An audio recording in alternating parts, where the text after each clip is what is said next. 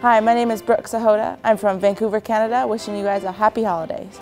Hi, ich bin Mathis Berning aus Duisburg äh, in Deutschland. Ich wünsche euch allen frohe Weihnachten. Uh, in English, Matt. Oh, I'm sorry. Ha oh, back. okay. I am Gideon Kiptong I'm from Eldoret, Kenya. I run CMU track and field. Nawatakia holiday njema. Hi, my name is Keto Pobla. I'm from Montreal, Quebec.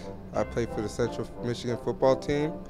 And I just want to wish you guys a happy holidays. And as we say in French, Joyeux fête et Joyeux Noël.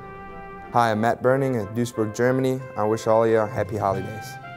My name is André Coimbra. I'm from Rio de Janeiro, Brazil.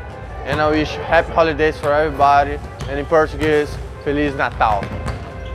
As you can tell, we've traversed the globe to find student athletes who helped the Chippewas claim an unprecedented six championships in 2010.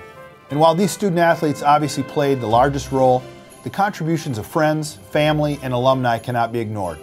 2011 promises to be a banner year for CMU athletics, as the new CMU Event Center gives our court sport athletes a new home befitting of their high level of performance. This, along with the recently announced Kelly Shorts Stadium project, allows us to claim proudly that Central Michigan University offers the best fan experience in the Mid-American Conference. We invite you to become part of the championship culture at CMU by supporting financially through the Chippewa Athletic Fund.